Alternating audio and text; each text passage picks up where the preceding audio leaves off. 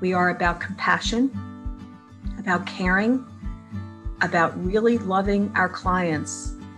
And we are about excellence, making sure that we send the right person out to the client, that we take care of our employees and make sure they are prepared to provide the care that needs to be provided. And we are about reliability. We show up. We show up. We do our job and we show up.